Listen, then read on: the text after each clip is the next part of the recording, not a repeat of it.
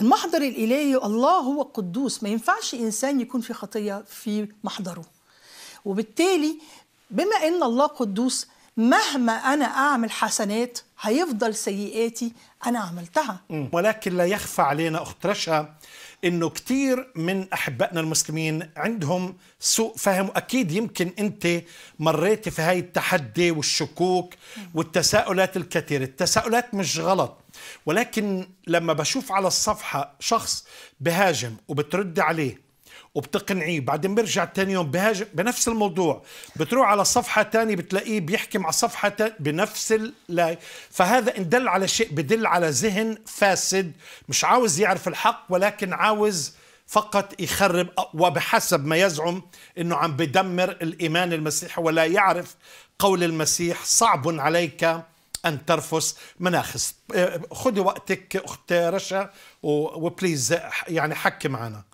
آه، طبعا اللي بيحاول إن هو يدمر العقيدة يعني في مفهومه إن هو بيحاول يدمر العقيدة المسيحية بإن هو يهاجم العقيدة المسيحية ويحاول إن هو يوصل للناس إن الإسلام هو الحل وهو ال- الحل الوحيد وهو الطريق إلى الله.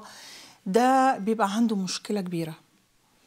ليه؟ لأن الصليب والقيامة في المفهوم الإسلامي طبعا إحنا اتكلمنا عنهم كتير قوي. يعني في يعني حلقات, في حلقات مضت, مضت. طبعا. لو عن يرجع المشاهد الحلقات مع الأخت رشا ممكن تشوف بعض من هذه الملحوظات. ولكن في هاي الحلقة أنا عاوز نحكي أكثر يعني عن أهمية القيامة وحتميتها يعني ليه مهمة بالنسبة لنا كمسيحيين.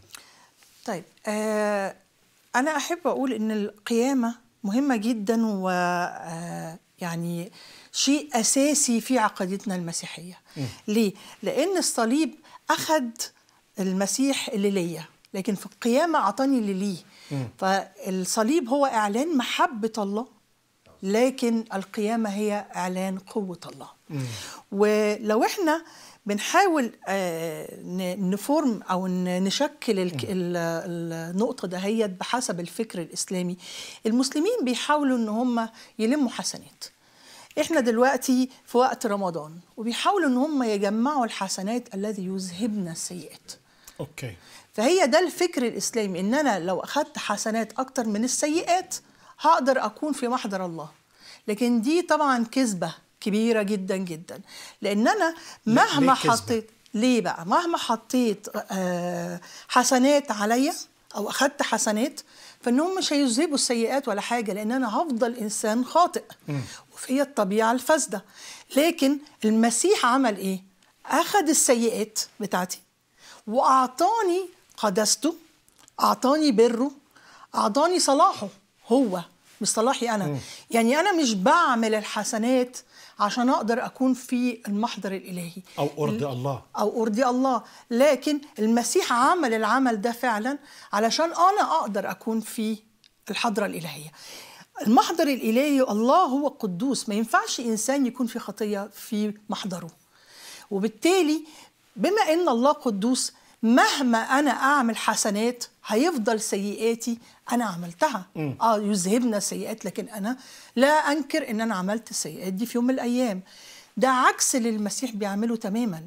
المسيح بيمحي الخطايا بيمحيها تماما. يعني لا يذكرها فيما بعد. فهو محى خطايانا الماضية والحاضرة والمستقبلة. وكمان أعطانا حاجة اسمها رداء البر. لبسنا رداء البر. فالله بيرانا من خلال بر المسيح. يعني إيه؟ من خلال قداسة المسيح. من خلال صلاح المسيح. من خلال بره هو. من مش من خلال أعمالي أنا الصالحة اللي بعملها علشان أبرر نفسي.